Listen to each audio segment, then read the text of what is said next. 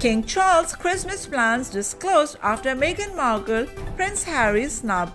Buckingham Palace has disclosed plans of King Charles for Christmas after Meghan Markle and Prince Harry allegedly snubbed his invite.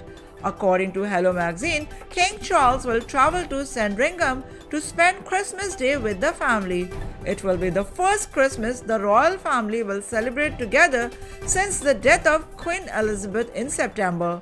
Meanwhile, the California based royal couple has reportedly rejected King Charles' olive branch and invite to mark the day with him and other senior royals at Sandringham. According to a report by The Sun, the main reason Harry and Meghan snubbed the invite is the fear surrounding reactions to the Netflix docu-series set to premiere next month. Royal biographer Angela Levin, however, said, I'm sure Catherine and William will be there by the king and queen's side for part of the holiday.